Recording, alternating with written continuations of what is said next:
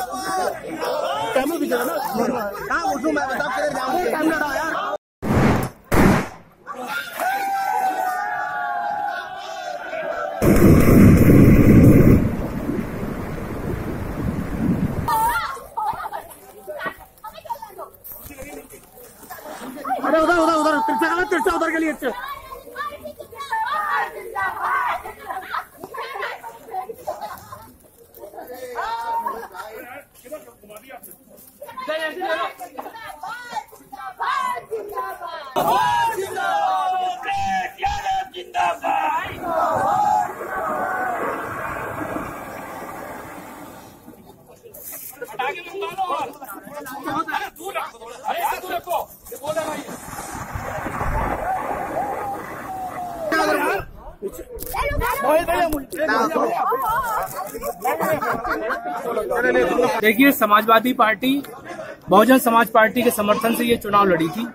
निश्चित रूप से दलितों, पिछड़ों और अल्पसंख्यकों का एक विशाल गठजोड़ ये बना है, जिसका परिणाम गोरखपुर और फूलपुर में दोनों जगह जीत के रूप में दिखाई पड़ रहा है।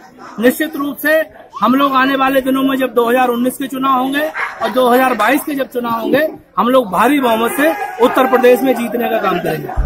गोरखपुर सीट, वीआईपी सीट मानी जा रही थी। योगी जी का गढ़ है। लेकिन वहाँ पे समाजवादी पार्टी की जीत है। एक डिप्टी सीएम हरा एक सीएम देखिए झूठ बहुत लंबे समय तक नहीं चलता है। 2014 में भी भारतीय जनता पार्टी के लोगों ने हिंदुस्तान के लोगों को झूठे सपने दिखाए और 2017 में जब विधानसभा का चुनाव हुआ तब भी उत्तर प्रदेश के लोगों के साथ झूठे वायदे कर कर भारतीय जनता पार्टी सरकार में आई थी। लेकिन कहावत है कि काट की हांडी बार बार नहीं चढ़ती है।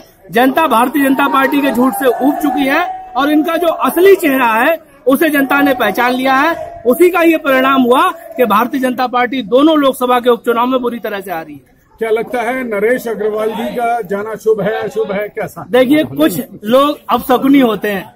और हम तो ये कहते हैं कि समाजवादी पार्टी की पनौती खत्म हो गई और वो भारतीय जनता पार्टी में चले गए। उसकी पनौती शुरू हो गई है और निश्चित रूप से आने वाले दिनों में समाजवादी पार्टी उत्तर प्रदेश ही नहीं पूरे देश में और मजबूती के साथ उभरेगी।